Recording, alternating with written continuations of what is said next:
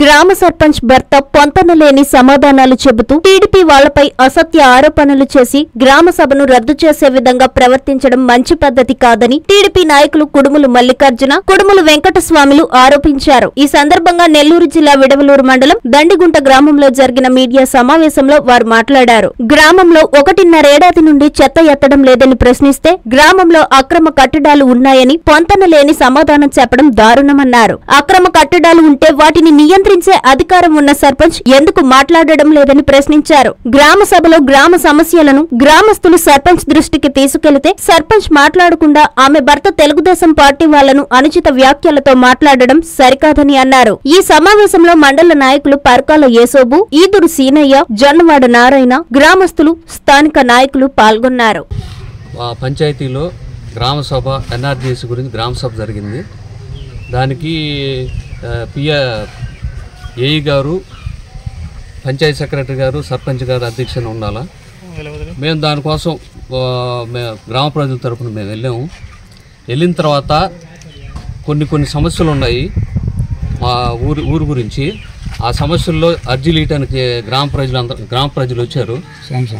వచ్చిన తర్వాత మేమందరమే కూర్చో ఉన్నాము. రెండు గంటలకు మీటింగ్ అన్నారు. రెండు గంటల నుంచి మూడు మూడు పదిహేను దాకా సర్పంచ్ గారు రాలేదు.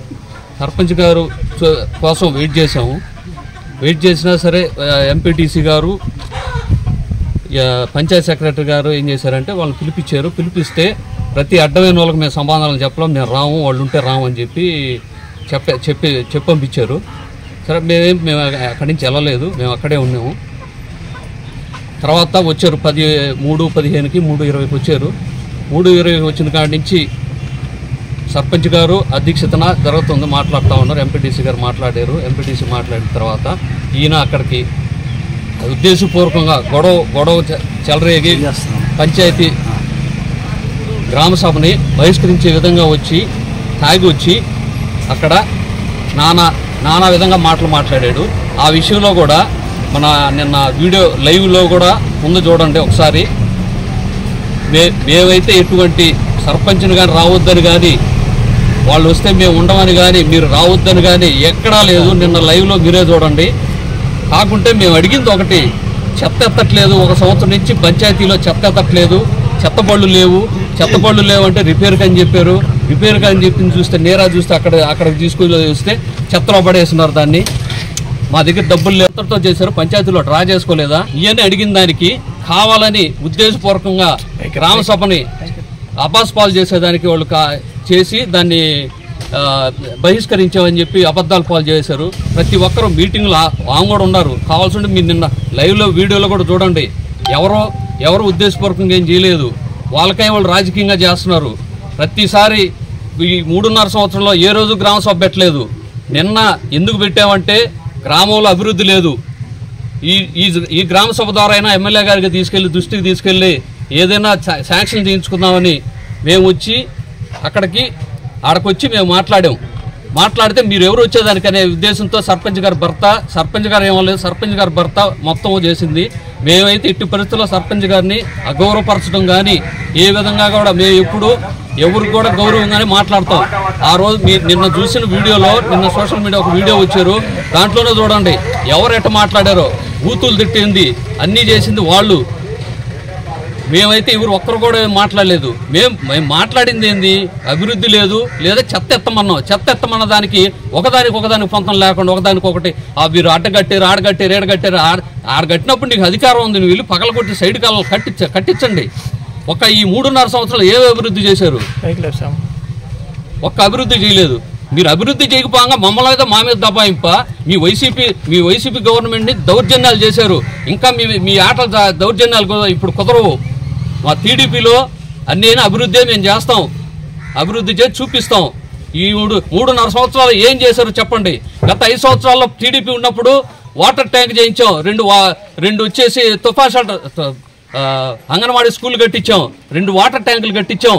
అన్ని చేసాం ఈ మూడున్నర సంవత్సరంలో కానీ ఐదు సంవత్సరాల్లో కానీ మీరు ఏం చేయగలిగారు వైఎస్ఆర్ పార్టీ తరపు నుంచి? ఎమ్మెల్యే గారి కాడ దయపోయాం ఎమ్మెల్యే గారికి చెప్పాం.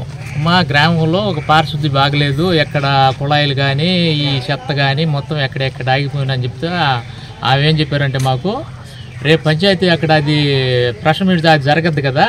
అక్కడ పోయి మీరు ఒకసారి చెప్పండి అండి ఏం చెప్తారో వాళ్ళు అని అన్నారు.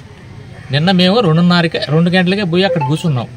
కూర్చునేటప్పటికి తర్వాత వచ్చేసేసి వాళ్ళు మూడున్నరకి మూడు పదికి వచ్చారు. రాగానే వాళ్ళు ఏమన్నాడంటే ఇక్కడ ఎంపీటీసీ గారు కూడా ఉన్నారు ఆడ. ఆయన కూడా ఉన్నాడు పంచాయత్ సెక్రటరీ కూడా ఉన్నాడు. పంచాయత్ సెక్రటరీ వచ్చేసి ఈయన వచ్చేసేసి వాళ్ళు ఎవరాయా వాళ్ళు అక్కడ ఉండటానికి వాళ్ళు ఉంటే మేము ఉండమని అన్న తర్వాత పంచాయత్ సెక్రటరీ మేము అడిగాం. సార్ మీరు ఎవరు కాకుండా మిమ్మల్ని ఎందుకు పిలువనం పేరు మీరు కానీ కానీ పిలవననుకుంటే మేము రాం కదా వాళ్ళు ఆ మాట రాను కదా అంటే అదేం కాదులేండి. ఎట్టో పిలిచినామో అయిపోయింది దాని గురించి కాదన్న తర్వాత వాళ్ళు వచ్చేసేసి లేని పనంతా అంటే మేమేం అడిగామంటే మీ ఇంటి దగ్గర వచ్చేసి మా బజార్ని వచ్చేసేసి నీళ్ళ కుళాయిలు వరలేసి ఉన్నారు ఈ నీళ్ళన్నీ మీ వాటర్ ఆయనకు వచ్చేదని అన్నాడు. వచ్చేదని అన్నాడు. నేను గతంలో ఆ పంచాయత్ సెక్రటరీ మన పంచాయత్ సెక్రటరీ పేరు ఏం పేరు? సుకున్నెమ్మ. తర్వాత మేము ఆయనకి ఏం చెప్పామంటే వాళ్ళని తీసుకొచ్చి ఆ రోజు కూడా ఎండి గారు కూడా వచ్చారు. వచ్చిన తర్వాత మేము ఏం చెప్పామంటే సార్ మీరు బండి తీసుకురండి జేసీబీ తీసుకురండి. మాకు డ్రైనేజ్ కాలం కరెక్ట్గా కావాలా? మీరు వచ్చి కానీ కానీ తీసుకొని కానీ వస్తే మేము దాన్ని శుద్ధంగా మేము అమ్మిడుండి మీకు ఎక్కడికెక్కడ కావాలందో మా వరలు కానీ మా మెట్లు కానీ ఎవడు ఏ వాకిట్లో వేసినాడో మొత్తం కుట్టాడు బాగా నూకేసేసి మాకు కంపల్సరీగా మాకు డ్రైనేజ్ కాలు కావాలని మేము సంవత్సరం నాడే చెప్పున్నాం. సంవత్సరం ఏందులో కనీసం అంటే రెండున్నర సంవత్సరం నాడే చెప్పున్నాం. అప్పుడు ఉండింది సుఖనమ్మ మాకు పంచాయత్ సెక్రటరీగా. సరే ఆమె తీసి అక్కడ పెట్టారు దీనికి పోయింది. సరే అక్కడి నుంచి వదిలేసేసి మేము కూడా కామ్ అయిపోయాం. నువ్వు మళ్ళా తర్వాత వచ్చేసేసి ఈ ప్రెసిడెంట్ను మస్తానయ్య వీళ్ళిద్దరు వచ్చారు. వీళ్ళు వచ్చి వీళ్ళిద్దరు వచ్చి అన్న రేపు మీరు ఏడక బాబాకండి ఇంటి దగ్గరే ఉండండి. మీకు బండి వస్తుంది. మేము ఇంటి దగ్గరే ఉన్నాం. జేసీపీ రాలా. అక్కడి నుంచి ఇప్పుడు దాకా కూడా మేము సైడ్ కాలం అడగతానే ఉన్నాం. ఇప్పుడు కూడా మా ఈదికి వచ్చి మీరు ఏం బలేదు ఒకసారి చూడండి. ఆ నీళ్ళు చూడండి. ఆ నుంచి పోతే ఆడొచ్చే గ్లాసులు చూడండి మొత్తం చెత్త చెదారం మొత్తం ఉంది. మేమేమని అడుగుతున్నాము? మీరు గ్రామ శుద్ధం ఏం లేకుండా నీట్గా చేయండి అన్న దానికి మాకు జీతాలు లేవు ఏమి లేవు మా ఫ్రెండ్ ఏమంటూ లేదని అని అన్నారు. ఓకే లేదు. లేని దానికి గ్రామంలో అట్టే వదిలేస్తారు. అవతల వరుణ్ణి సర్పంచ్ నీట్గా చేస్తున్నాడు కదా. ఒక బండి పెట్టుకున్నాడు ఒక శుద్ధంగా ఒక మనిషిని పెట్టుకున్నాడు నీట్గా చేస్తున్నాడు. మేమే కాదనలేదు శుద్ధంగా చేస్తున్నాడు ఓకే. నువ్వు ఆయన చేసినంత మాత్రం మాకెందుకు చేయకూడదు? మాకు కూడా చేయొచ్చు కదా. మేమే అడుగుతున్నాం? ఒకటి ఊళ్ళో సమస్యలు ఎన్నో ఉండవు. గ్రామంలో సర్పంచ్ గారికి వచ్చేది ఏంది ఒకటి? ఒకటి వచ్చేసేసి నీళ్ళది వస్తుంది. ఆ రెండోది వచ్చేసేసి కరెంట్ వస్తుంది. మూడోది వచ్చేసేసి ఇంకేమైనా వస్తుంది? చెత్త చెదారం వస్తుంది. ఈ గాని కరెక్ట్గా కానీ జరిగినట్టయితే నీ గ్రామంలో నిన్నేం పట్టించుకునేది ఎవరు ఉండరు పెద్దగా. అంటే గబక్కన ఏంటంటే ఒకవేళ నీ పనులు ఒక ఉందో లేదో మేము అధికారముఖంగా లేదనుకుంటే మా ఊళ్ళో గ్రామంలో అడిగినప్పుడు మీరు ఏం చెప్పాలంటే అయ్యా ఇట్టి సంగతి మీకు కూడా తెలిసిందే కదా మా కాడ ఏం పంచాయతీలు ఏం రూపాయి లేదండి. ఆ రూపాయి ఏదో రేపు పొద్దున వాళ్ళు ఇది చేసిన తర్వాత మీకు అన్ని మేము లెక్క సరిగా చేసి వదులుతామని అన్నప్పుడు మేము కూడా కామ్ అయిపోతాం. అంతేగాని మీరు లేని పని మాటలని చెప్పి మేము బళ్ళు ఆడున్నాయా అని అన్నాం. బళ్ళు ఆడుండేలేక ఏమన్నాడు? చెత్త బళ్ళు ఏ లేవు. రెండు వచ్చేసి ఏదో వాడల్లోనూ నెల్లూరులోనే ఆడ రెండు ఏం లేవండి. వాడు బాగు చేస్తున్నాను అన్నారు. సరే మా పి మా పిల్లకాయలు ఉండి ఇటు సంగతి అని వాళ్ళ ఇంటి ముందే దోసేసి ఉన్నాయి. బళ్ళు అన్న తర్వాత మేము ఆడికి వచ్చి బండ్లు లాగాం. బళ్ళు లాగంగానే నీ రూపాయి పోయింది మీరు కూడా మా ఇంటి దగ్గరికి వచ్చి బండి లాక్కొని పోయేంత అంత అవసరం మీకేం వచ్చిందని అంటే మీరు చెప్పిందే కదా. మీరు చెప్పకపోతే మేము ఆ బళ్ళు చూడం కదా. మీరు అంత అబద్ధం చెప్పాల్సిన అవసరం ఏమొచ్చింది బళ్ళు ఉండయ్యా దానికి డబ్బులు లేవు. మా ఇంటి దగ్గర ఇవ్వండి రేపు పొద్దాం డబ్బులు ఇచ్చిన తర్వాత మేము బాగు చేపిస్తాం అనేది ఒకటి. మీరు అట్ట కాకుండా మీరు ఏదేదో గందరగోళం గారి చేసేసి అదేమనంటే ఎట్టాటి ఏదో నా కొడుకు కూడా మేము చెప్పాల్సిన అవసరం ఏముందంటే నువ్వు గ్రామంలో మా గ్రామంలో నువ్వు ఉండవు మేము కూడా నువ్వెంతటోడు మేమంతటోడమే మేమందరం ఓట్లు వేస్తే కదా నువ్వు మాకుంది. చెప్పే రైట్స్ మీకు ఉంది మేము ఏదన్నా రాంగ్ తప్పుగాని అడిగితే నువ్వు చెప్పొద్దు. నీకేందో మేము చెప్పేది అని అడగచ్చు. నువ్వు కరెక్ట్గా మేము అడిగాము. రూల్ మాకుంది. అది మేము ఓట్లు వేసి నేను గెలిపించాం కాబట్టి నువ్వు చెప్పాల్సిన అధికారం మాకుంది.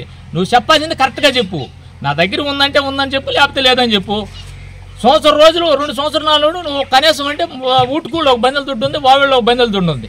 బందెల దుడ్డు కాడ ఎంత వేస్తాడు? గవర్నమెంట్ బిల్లు వేస్తే ఒక ముప్పై రూపాయలు వేస్తాడు లేదా ఒక యాభై రూపాయలు వేస్తాడు.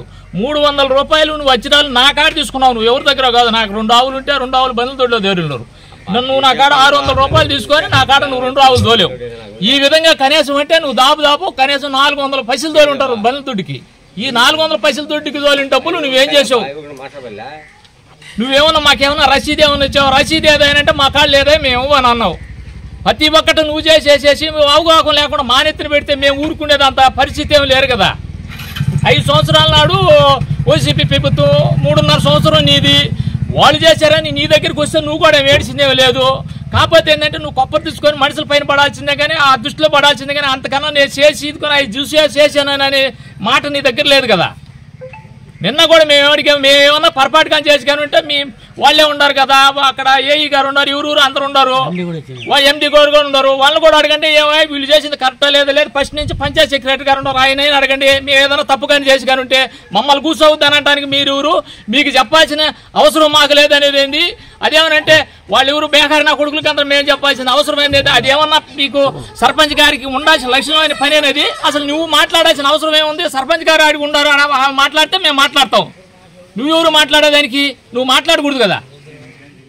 శుభ శ్రావణం బంగారు ఆభరణాల విఏపై up to fifty percent off CMR జ్యువెలరీలో శుభకరమైన శ్రావణానికి సంప్రదాయ ఆభరణాల శ్రేణి శుభ శ్రావణ ఆఫర్ బంగారు ఆభరణాల విఏపై up to fifty percent off మీరు లెక్కించలేనన్ని న్యూ కలెక్షన్స్ ఐటీఐ సర్టిఫై చేయబడిన లైట్ వెయిట్ ఆభరణాలు antique jewellery kundan jewellery light weight jewellery హారాలు గాజులు వడ్డాణాలు సరికొత్త మోడల్స్ లభించును లక్ష్మీ రూపులు లభించును ప్రత్యేక విభాగంలో డైమండ్ కలెక్షన్స్ ముందెన్నడూ చూడని అద్భుత కలెక్షన్స్ వెండి వస్తువులపై తరకు మజూరీ లేదు. Dhana Utsav Swarna Utsav advanced purchase plan మీ విలువైన డబ్బుకు సరైన ఆదా ఇక్కడే. ధన ఉత్సవ్ స్వర్ణ ఉత్సవ్ స్కీమ్లో చేరండి. తరుగులో రాయితీ పొందండి. CMR jewellery trunk road Nellore. Magunta layout Nellore. Chandana brothers ప్రక్కన నెల్లూర్.